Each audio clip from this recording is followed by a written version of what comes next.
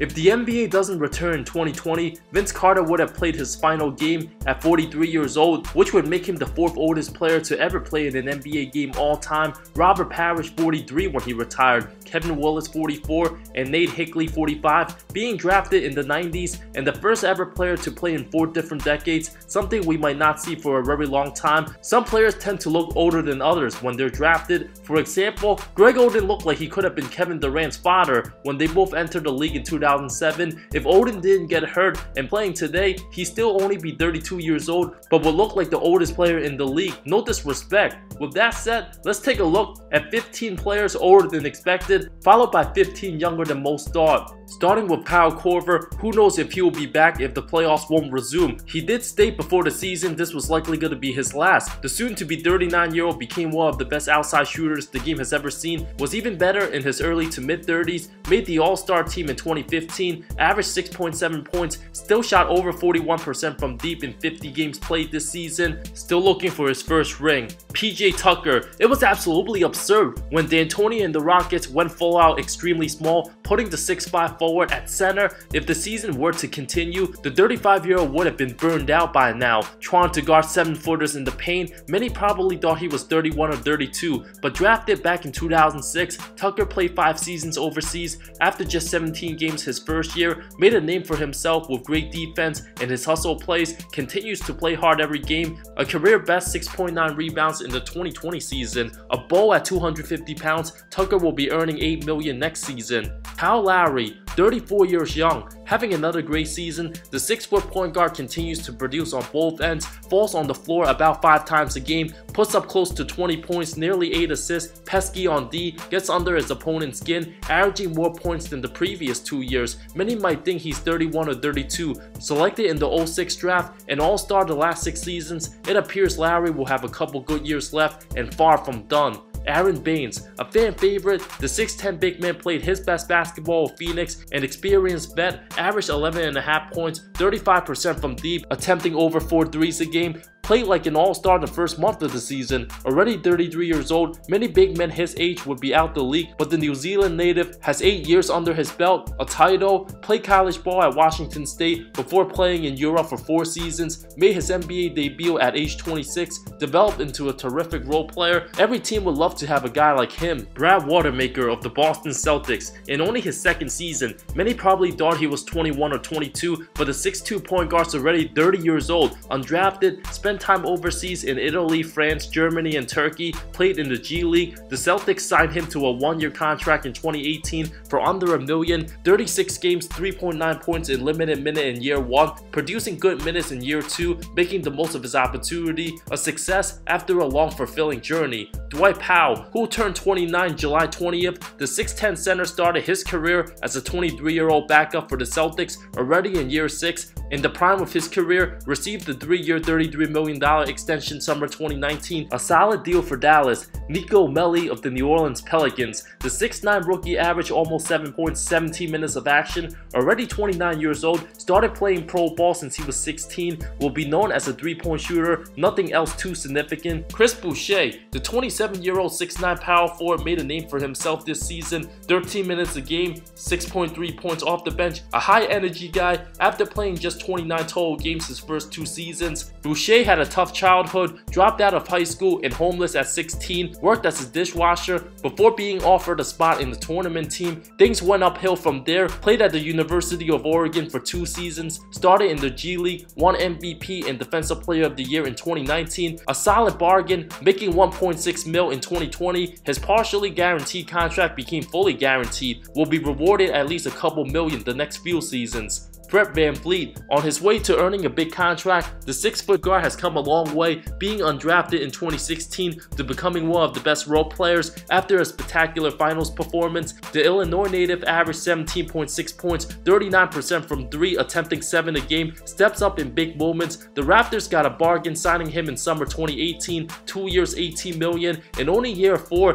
many might have heard of him only 2 years ago, so they assumed he'd be 22 or 23, but stayed 4 years at Wichita State State, already 26 years old, should be entering the prime of his career. Cameron Johnson. The 6'8 small forward was picked 11th overall in the 2019 draft. A decent rookie, 8.1 points, 20 minutes a game, 40% from 3. A spot up guy, already 24, older than teammate Devin Booker. Many criticized Phoenix for not drafting a point guard. Johnson was expected to become a mid to late first round pick because of his age. Daniel Theis, the 6'8 center has proven himself to be a quality center just his third full season, putting up over 9 points, 6.5 rebounds, sets good screens for his teammates. From Germany, the 28 year old will be making 5 million next season, a solid deal for Boston, getting him for 2 years 10 mil, flourishing under Brad Stevens' system. Duncan Robinson, the 3 point standout starting at small forward, putting up over 13 points. The 26 year old started playing Division 3 ball before transferring to the University of Michigan. Undrafted and overlooked, Pat Riley deserved tons of credits for signing him.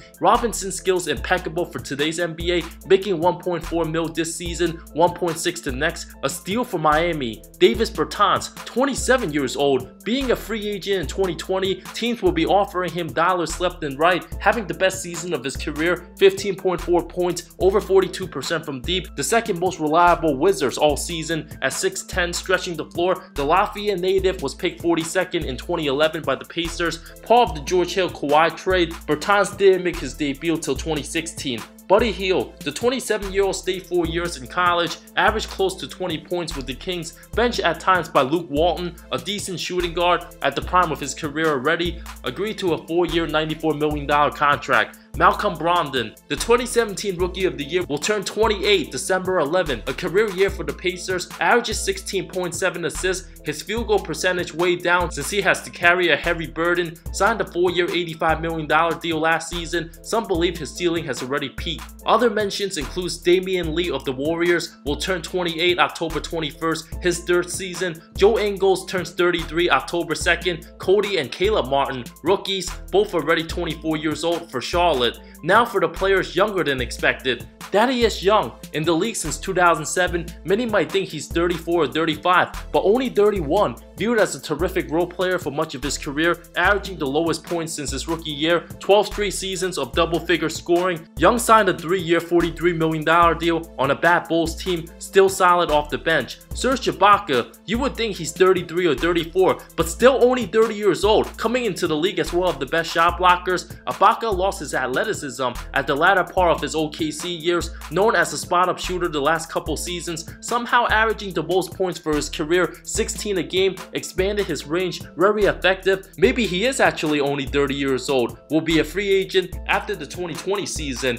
I can see some teams pay big money to get him. Nicolas Batum seems like he's been awful for Charlotte forever. Still shockingly only 31 years old, many players his age still produce at a high level. Younger than Steph Curry, having an awful year, 3.6 points, already 5 seasons with the Hornets, 22 games, has a player option for 2021. If I were him, I'd take the 27 million. A disaster of a contract. Avery Bradley, rejuvenating himself and being relevant since his Boston days, still only 29 years old. It seemed like Bradley's career was falling apart after leaving Boston, didn't get much coverage on bad teams, but continues to flourish defensively. A decent spot up shooter starting at the 2, the Lakers did a great job picking him up. Derrick Favors, 10 seasons in the NBA, feels like he's older, started the last 7 years, still only 28 years old, the prime age for most players, putting up the highest rebounding numbers of his career at 6'10", not really a strong fit in the modern NBA, will be a free agent after the 2020 season. Many probably think he's in his early 30s.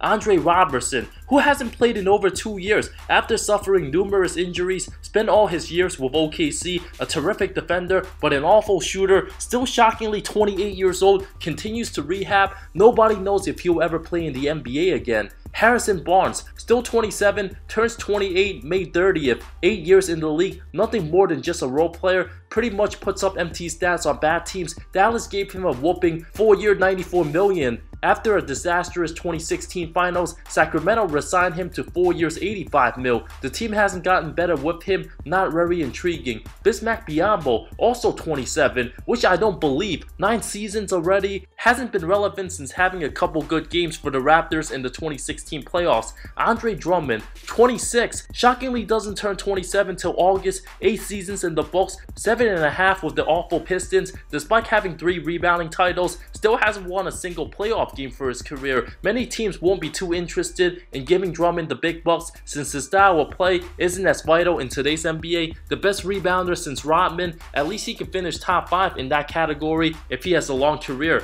Dennis Schroder, 26 years old, turns 27 September 15, seems like he's been in the league for 10 years, 7 seasons, playing as well and efficient as ever, 19 points a game off the bench, flourishes in the backcourt with CP3, reliable at crunch time, will be making 15 and a half mil in 2021. Michael Kidd Gilchrist, still 26 years old, a huge bust, now on the Mavs, barely plays 21 games on the season, never developed any offense, will be a free agent and might be out of the NBA very soon.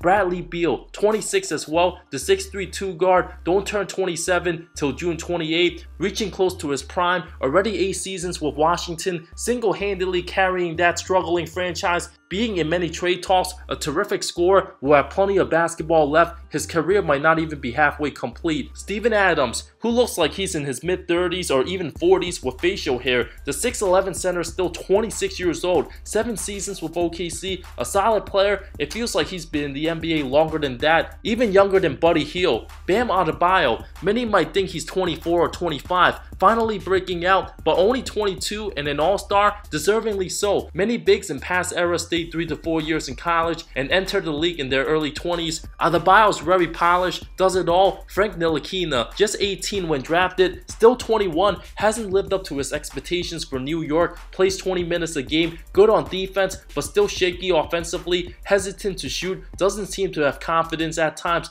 still has time to get better despite being in trade rumors. Honorable mentions include includes Kentavious Caldwell Pope, who just turned 27 in February, has been a solid backup for the Lakers. Marquese Chriss, 22, looking to remain in the NBA. Who knows how much longer he will be on the Warriors. Markelle Fultz, once considered a bust and counted out before getting a chance, won't turn 22 till May 29th. Still a chance to improve heavily. Thank you so much for watching this video. I love all of you. See you next time.